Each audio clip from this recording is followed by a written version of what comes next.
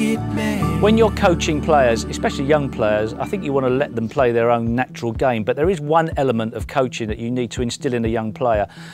Jordan, pop that red screw back. Just knock it in. Just, uh, just have a whack of it. That's it. Get it in there. Okay, and another one. Have another knock. Knock that one in. Screw it back a bit. Okay, fantastic. Daniel, do the same.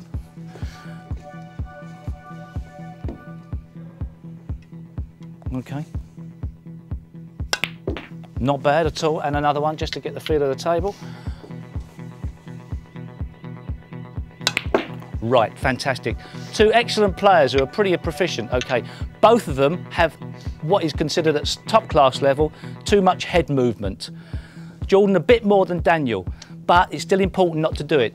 You mustn't move your head. If you move your head, it can cause all sorts of problems with your cue action. If you move your head, your cue can come up, you can miss cue.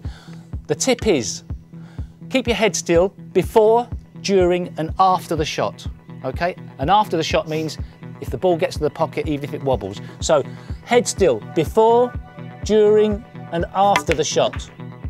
Okay, try that one, Jordan.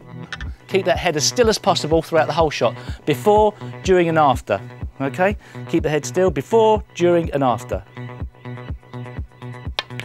That's much better. Okay, maybe not used, used to it yet, but the more you do it, the better it becomes. And I think I don't think you'll have too much problems either. Even on a power shot, Daniel, try your biggest shot because I know you can play a bit. Give it your biggest whack and try and keep that head as still as possible. Doesn't have to be touching the cue, just still. That's decent, that's it. And after the shot, keep it down. When you see Shaun Murphy play a shot, after he's played it sometimes, he stays down for a full two seconds afterwards to make sure the rest of his body hasn't moved. Congratulations, well done lads, well done.